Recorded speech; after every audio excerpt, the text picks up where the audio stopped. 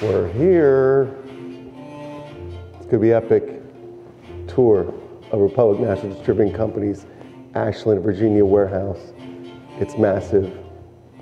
This may be like a two, three hour show. Regardless, you're gonna need to watch. We're rocking! We're rocking over here! We're gonna wait till we're done with this because it looks like shit. Republic National Distributing Company, rare treat today. Thanks to perennial special guest Holly Rocco Faraci of Bozzelli's Wine TV for somehow upping the ante again. This is going to be an awesome show. Like, smash that button. You know what you got to do. Thank you. All right, Virginia, this is the only um, branch in, in the RNDC network that is wine only. All other branches are wine and spirits. So um, it's, it's unique. We do um, 4 million cases approximately every year. Our building was built in 2015, and um, it's 305,000 square feet with a little bit under uh, 250,000 in the warehouse. Okay. We have about 30,000 in the office area and approximately 20,000 in point of sale. With um, Virginia also, we have a brokerage here for the spirit side, and they're also co-located in this, in this facility. Okay, this is where it all happens, guys. Come right in. Wow. This is the land of wine. Some people say Italy's the land of wine. I think this is the land of wine. Uh, Right now, we have uh, in excess of 625,000 cases of wine. Um, As I said before, we do 4 million cases a year, and that's, it varies between 9,000 cases to 25,000 cases per night. With bottles, we're doing anywhere from 10,000 bottles to 24,000 bottles per night 10,000 bottles a night is being processed. as, as eaches. Okay, uh, which is, hey John, which is, um, some of our branches are, um, we used to be, a heavy b- bottle branch. Now, compared to Michigan, which does over 100,000 bottles uh, a day, we're, we're small potatoes comparatively. not too shabby though. Okay, all right. I know this box. Yeah. I know this box very well. Thanks to Holly. Um, the way we process orders is our salespeople go out during the day and they turn in orders, or we have some customers that turn in their own orders via either EDI or they will fax fax in orders be processed by our customer service department. Uh, so several ways orders actually will come into the system. Um, right now our cutoff is, is at 5 p.m. So that at 5 p.m. we say, okay, that's enough. That's enough for orders for the day and then we'll process the orders. By doing that, our router actually decides um, which trucks go out and what stops actually go with those trucks. At that point, they get waves. We're using a, a Shiraz system, which is a DMW&H sortation and control system. Um, and then the rubber, software? that's software, and uh, they also controllers for the conveyor systems. Understood. So for the bottles, this is where the rubber meets meets the road here. We have a um, box maker on this side, which has the automatic labeler for our higher volume line. On this side is a manual box maker, which also uh, makes boxes, and you manually put the labels on by hand. So you have about 80% of the bottles going through that side, and then 20% obviously on the other side. We have two levels. Um, the upstairs is a combination of a little bit of flow rack, shorter, and static rack, so slower, slower volume products. We can uh, fit actually uh, 100% of our SKUs in the bottle room. Now, everything's not um, picked by bottle. We don't pick um, large formats by the bottle, so everything's doesn't need to be in. So this is the bottle room. This is where the bottle where the room. sorting happens. Yes, Okay, and that's all done manually. uh, bottles are picked manually. Bottles are still picked manually. Nice. Okay. Uh, you know, it's um, something we look at periodically, trying to automate some of this, but it's uh, incredibly difficult to actually get a robot to pull bottles of all different shapes and sizes. It's just really, really difficult to, to Well, do. Shipping boxes are different shapes and sizes as well, and Yes. different weights, you know, everything, everything is so complete. Some Yeah. bottles weigh more than others. Yeah, yes, if, if you go in and just look at the differences, you can imagine a robot pulling this and being able to do that without pulling the foil off. You know, and then you know, then you have everything from large a, format. a, a shape like that, you know, and everything's just, just so different. Wow. Wow. But this is a uh, um, qu- quite a quite a long line. So the bottle lines are the longest line. We have we can take uh, the as you finish with a box, you toss it up here. The conveyor takes it to a compactor where we recycle all the uh, corrugated. Richard, in on a busy night, how many people are working in here? Uh, typically, we're running about six people, but you can run you can run more or less. It depends on bottle volume. So you just toss the box up there. Yep, and it takes it away. Just takes it away. Yeah, Okay. empty. All right. Is it, uh, you said, and so this is the, the peak period is when? Um, it's actually by day. Peak By day. periods t- tend to be on, um, for, for cases, it's on Monday nights. And then for um, bottles and for stops, it's uh, Thursday. And Friday also is heavy. When Um, everyone's out drinking. Yeah, so, so s- Sunday, Sunday night and uh, Tuesday night are your lightest nights. Yeah, at casewinelife.com, we we see that Sundays are a big day when people order wine by the case. Um, and Holly, of course, is our expert rep. Yes, I get Um, large orders on You, Sundays. you get you get our orders on, on, on Sundays. Very cool. And that, but what we love about R and RNDC Republic National Distributing Company is the broad portfolio, the book. They've got everything. They've got an awesome Italian book. You know, I'm partial to Italian wines. Of course, they've got the Cali cabs that everyone loves. Um, can we just walk the line because you have such great SKUs? I mean, you've got Vino from uh, with House of Smith, uh, Cupcake here. Uh, chime right in, Holly. Uh, uh, gnarly head. Uh, oh, Phantom. You gotta love Phantom. Yep. Oh, Butter Shard, famous Shard. Ruffino, Riserva Ducale. Shout out to Christy Atwood of Just did an Constellation. Shout out to Christy. Yeah, shout out to Christy. We love we love them. King Palm. This looks interesting. I haven't seen this. Um, Cabernet from Paso. Okay, there you go. Surprise, might be- surprise. That might be a grocery label. Some of that might be private label. Okay. J. Lohr. J. Lohr, uh, the pure proprietary blend is really hot right now.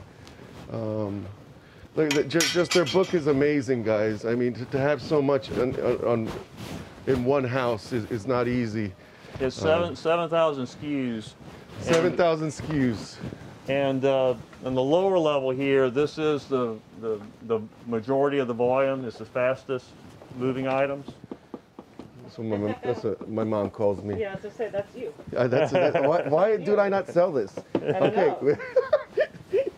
okay. Uh, um, wow, wow. This is awesome. Oh, we absolutely can.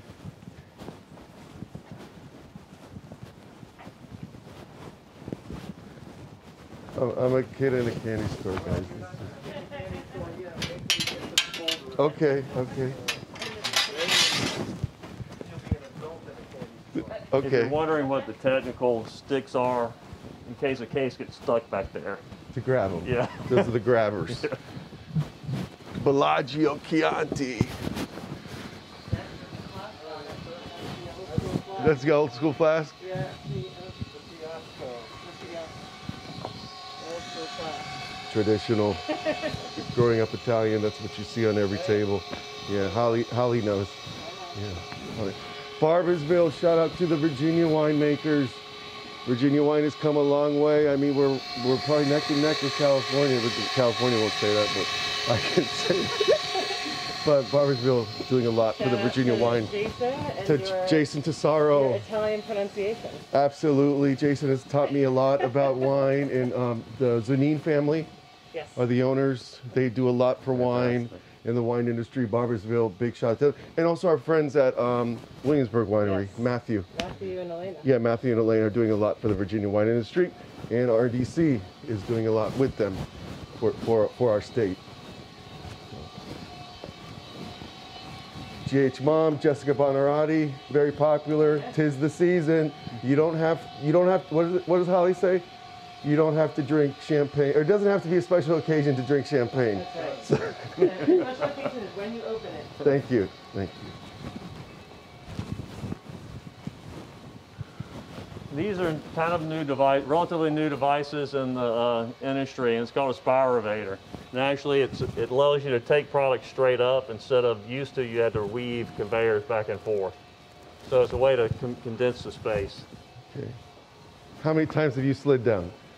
Uh, yeah, it's, it's actually it's very, very, very sensitive. If you break one of these and they go in sideways, and you lose a whole bunch of them. Wow. But uh, we have an ingenious uh, mechanic that works here that's actually put in some uh, emergency stops that kind of saves us.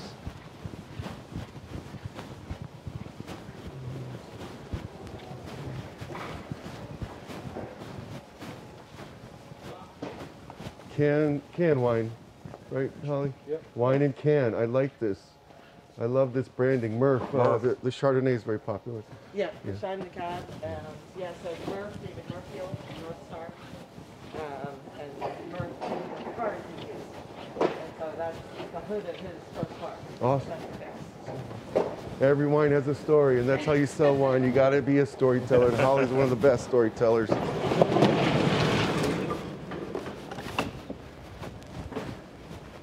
This is the cold room, Doug? Yeah. Okay, feels colder. Luc Belaire, guys. Luc Belaire. Yeah. And This- these are the light up bottles. These are like these are very coveted, hard to get. You get them at casewinelife.com. Very pop. All you Ricky Rose, Gucci Mane fans, we got you. I'm wet. I'm wet. The, uh, the facility here is a greener facility. As you can see, we have insulation on all the walls, so that helps keep our energy usage down. We also replaced all of our lighting with LED lighting. And you notice they're all um, motion activated, so that when you walk through, it lights up. This is our um, hand stack aisle. Which, yep, there you go. Good stuff. It's What time is it? Mike? high noon. Too easy. Too easy. Now, I'm not quite clear what why the high noon sitting Okay. right there. Put this in your pocket. Sorry, I, I'm, I, I'm very goofy. Sorry. I'm- I'm just so stoked. We know your mom. Remember the, uh, the David Yurman episode? You- uh, yes. And we got Perrier-Jouët Bella Wow. Good stuff. Wine in boxes. But uh, I've never seen a Malbec package like this. Oh, here's. That's others. Sore subject. Sore subject. Okay. Well, very nice packaging for this Malbec. Yeah. Very cool. Oh, yeah, Terrazas. Terrazas. So that's, That's a stocking story. stuffer. Yeah, that's a story. So Bordeaux winemaker comes to Argentina. Yeah. Bordeaux winemaker comes to gotta be story Argentina. Wow. Oh, Artemis. Is that Artemis? Yes. Artemis. SLV. Stag's Leap. Sag- Sagsley. SLV, yeah. the wine that put California on the map right there, um, what, 30, 40 years ago? The, the Judgment of Paris. Yes. We will never forget. Cederberg, a new brand. Cederberg from South Africa. That's awesome. Wow, great. Great wines with altitude. Nickel and nickel. Nickel, and nickel. Another one of our favorites. Richard, can you explain, like, so if there's orders come back here, they obviously don't go through that, that line. So how does how does a guy get something that's the third row from the top up there? A really Back to the tall ladder. okay, so um, when the orders are sent down from the system, the stuff that's stored in the cold room are set out in what's by wave. So say you, you want to pick for the first three waves, you want to go out and do a circle around the warehouse of this odd stuff, or the stuff that's not sold in a velocity to where it would go into one of the pick modules. They would then drive around on a cherry picker and would go through and stack a pallet of, you know, say um, probably 28 approximately cases, and they would take that down to the case line, which we haven't seen yet. We'll walk by that later, and then they would load it onto the conveyor system at that location. Then it would travel around back down to the trucks. So Thank you, Richard. on Wow. a cherry picker. I mean, this, this, All this the way- it's, ju- all the way it's, up. it's just a head snapper of a day, guys. five Uh, and five. We also sell beer. Do they also sell? Yes, you do sell beer. A lot Yeah. of German, Yeah, We have a lot of uh, like the nickel and nickel and Farniente. And Farniente, that post and beam has been fantastic this year. Um, a great That- It's been product. rocking, I mean, we Yeah. did, yeah. I need to do more with Post and Beam. And it happens to be delicious. Okay.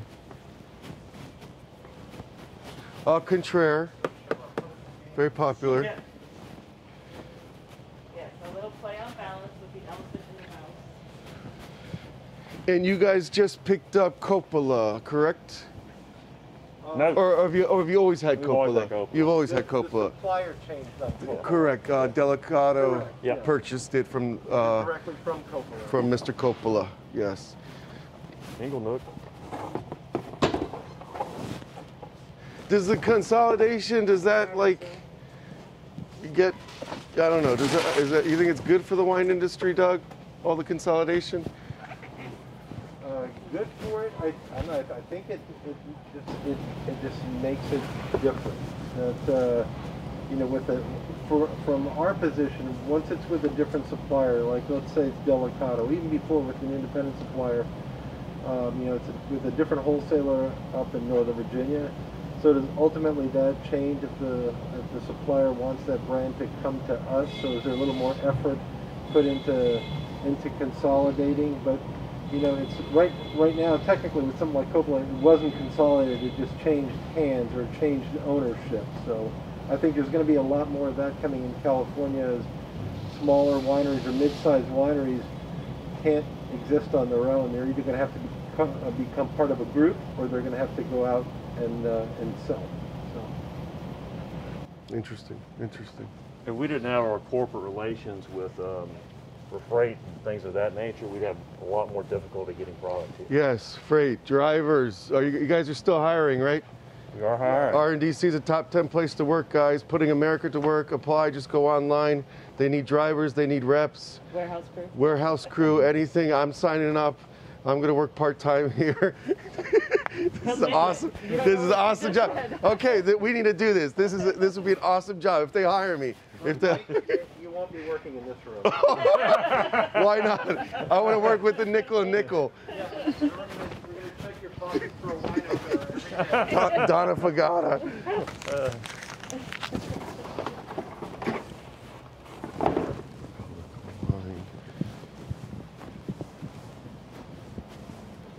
Now, does RDC have any of their own labels? We do not. You do not. No, You're not in we the. do, we do some private labels for large uh, grocers or Costco or whatever, but those are, are are done by our suppliers. We do not. Why? Why bite the hand that feeds you? Well, well I think that's it. I mean, I think that we could be wildly successful with our own brands, but that really it hasn't been broached. You know, be, whether it's like Southern or Breakthru or us or any of the big wholesalers. Some of the smaller ones have gone out and done their own brands, but uh, yeah, it's. Uh, I, I think it's it's exactly a bite the hand that feeds you type of situation. Respect that. Respect that. one. Lock and barrel. Keg wine.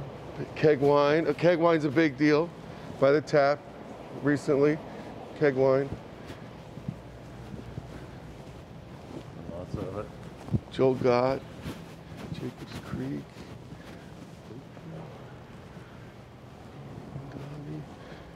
Some beer down here. Number one Pinot Grigio in the world. Yep. About that. About that. Santa Margherita, guys. That's a whole lot of Santa Margherita. That's a whole pallet. Very popular. Another pallet up there. Very popular with all the real housewives. We got another pallet up there for all the real housewives. CaseWineLife.com. Here you go. Insignia. Look, and they even left me one bottle. They even left me one. That's so kind of you, Richard. There you go. Do Richard, give them the the box and he can. Oh, that, that yeah, exactly. Okay, just, I'll, I'll take the box. Take the box. The insignia, Joseph Phelps, special, very special wine. Actually, we can't give you a box. We'll have to do it immediately. This is yeah, the- yeah, no giving, no gifting, but this is delicious with pizza, the essential red. It really, and I think it was made for pizza. because they were handing out these Italian uh, biking hats when it first. do you remember that when it was first introduced? I don't know what the connection was, but it, wow, this is a wine you got to have with pizza. I love the essential red. I, the uh, the uh, uh, Old Vine Zinfandel. The old, old vine. Yeah. Yeah, that's a really nice wine. Can wine. Did you guys ever? Did you see this guy's coming? Did you guys? saw that? Did we, you we, see we this saw trend? it coming. Yeah, we saw it coming, and we saw it leaving. Re- oh, you saw, so where is it at now? Yeah, don't uh, don't. Where is it at now? Is it kind of has it plateaued? Yeah, it, it's right in the middle. you It's know, solid. And It's, it's more uh, seasonal too. It'll pick up again with Yeah. the. Well, there, it's like the, the, the piece of the pie is pretty good sized, but there's so many competitors. Not just like our suppliers, but every supplier. It's like how Rose was about eight years Yeah. ago. You know, the, the first, ten years ago there was like ten rosés, and then like three years later we had uh, I think it was 130 rosés from different suppliers. So, and we're just one wholesaler. So you know, in the state there's probably are five or six hundred different rosés available. So it's uh, it's the same thing with canned wines, and everybody's kind of just hoping to to hit a home run. Hit a niche. You know. Yeah. I I can't believe you said at one time there were only 10 rosés on the market, and now today it's like the whole aisle is rosé. And that's a rosé. Yeah. Brought up keg wines before. You see a lot of the keg wines down here. Wine on tap. About, about one month ago, you wouldn't have seen a keg wine in this building. It's, that's a- something that's the shortage uh, and supply of kegs and replacement kegs has been awful. And now we, we actually finally have gotten some in within the last 30 days. But for really throughout late summer, zero kegs. We had nothing. So Another trend that I didn't see. yeah, that one's actually doing pretty well Yeah. and growing. Is that a clear keg? How you doing? Technically a Good. disposable keg for Prosecco. Wow. Wow. How you doing? Get out of your way.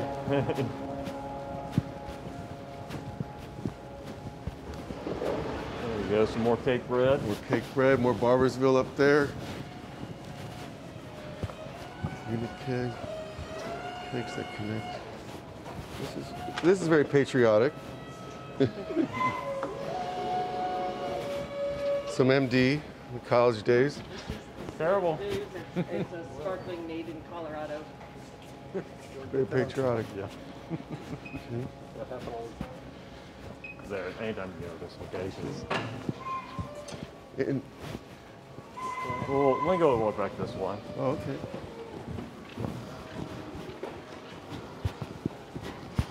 This is all the point of sale. Want to sale? Yeah. Yep. that I love, but you guys are very limited in what you can share. Yeah.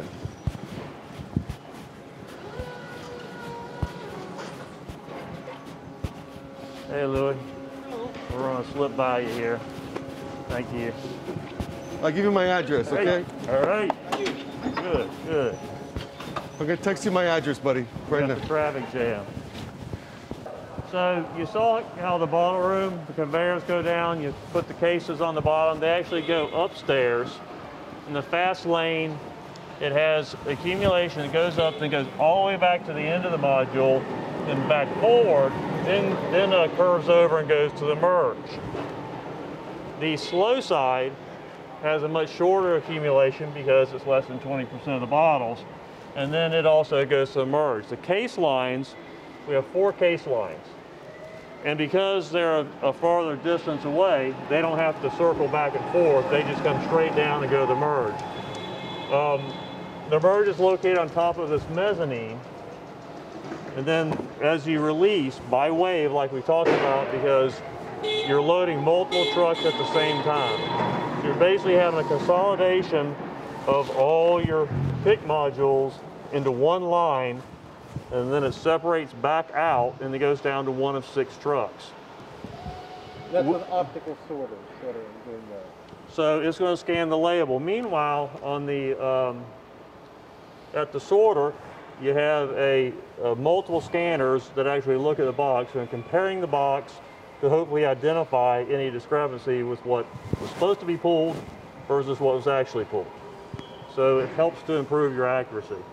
Our scanners have an accuracy of above 99%, so hopefully you're catching most of the errors.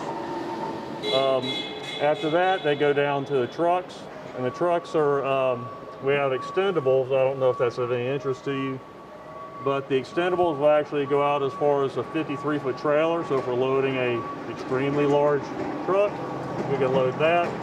And obviously, it's, um, you know, mechanically can be pulled back into a shorter truck as well. The expendable is like an airport ramp. Oh, we can show. These are the two case pick mods. The upstairs is exclusively uh, pallet flow. The downstairs a combination primarily uh, case flow, but also has a small amount of pallet flow. So this is kind of like staging. Um, this, this is bulk storage here. A little bit over there, you have um, the receiving area where product is brought in.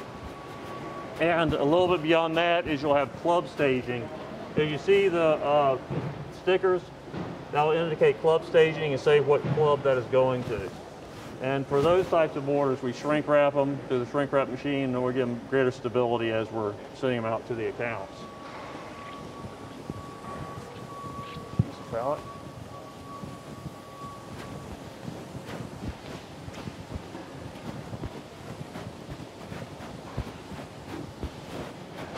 As you can see, this is a compound, um, has multiple layers, and it literally will go out 53 feet. And we have it to where it, um, it takes the light in with it so that the loader can actually see what's, what's in the truck. It has great visibility, plus during the summer. It has a fan to keep it cooler in the truck for the operator. It gives information to the loader, how high they need to stack it in the truck, how many cases they're expecting, where they are in the load. Check how technical this is, guys. Wow. Total cases 391. Just today at 5:30 in the morning. Wow, I was sleeping. I was sleeping, Doug. That's,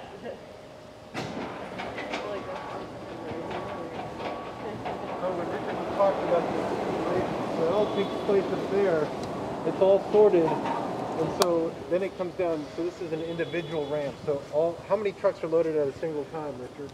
You load six trucks at a time. So that these are all full, and like there's just tons of people down here working, like uh, unloading these boxes as they come down into the, into the truck. Now I know why we did this at 10 a.m. We didn't want to be in the way. Yeah. Massive undertaking, Well, and, guys. And, uh, and you, you can't believe how loud it is in here at nighttime too. Everybody has to wear ear protection. It's like, a, or should wear ear protection. Well, this is a, actually a quieter conveyor than a, our older conveyors. Our older conveyor, you could, you found it difficult to talk. Yeah. Uh, this is a much better conveyor than our uh, There's still old lot pneumatic going- there's a system, lot but there's a lot of moving parts. And you have the beeping of more lifts going around, so it, it, it is a, it's a working warehouse. it's a working warehouse. It's, it's a working warehouse. It truly is. Truly a marvel of a, of a warehouse, guys. Um, wow. We didn't know what to expect, guys. You better smash that like button. Another epic episode thanks to Holly and our friends of R&DC. These are like sales, where your sales teams. Um, these are Neat. meeting rooms. We have a, um, actually do have a tasting room here to the right. Oh, check it out. Where we do our statewide meetings over here. These rooms. and these These- The bare knuckle meetings. Meeting and tasting rooms. Wow, beautiful. Look at all the woodwork. Of course, unfortunately, there's no wine in them. There was enough wine in that warehouse. But if you wanted a tasting room, this would be an awesome tasting room, guys. All this woodwork, look at the stone, beautiful. Maybe there's some wine in here, nope. No luck. Estates, who, who, that's, what is this? Oh, master, Master Master mixes, wow. one of our cocktail mixes. Sorry, I'm snooping. Okay. We are in the point of sale room, so these are called shelf talkers. These help us sell wine. You could mail this in to get two bucks off. We love point of sale. Um, whatever it takes, it all helps to sell wine. And um, th- this is all provided by the suppliers to the distributor. Um, like this awesome Ruffino sign from our friends at Constellation. This would be super cool. Like I could really load that with product. It's not. It's plastic. I'm thinking Albin Road. I could really load that with product, right? That would be cool. Awesome day today here at RNDC. I'm so excited. What did we get? We got some point of sale items like printed materials to help us sell wine, which is really cool. It's to do a lot, but now we learn more about the logistics of selling wine and the distribution. Don't miss this episode. Like, comment, subscribe.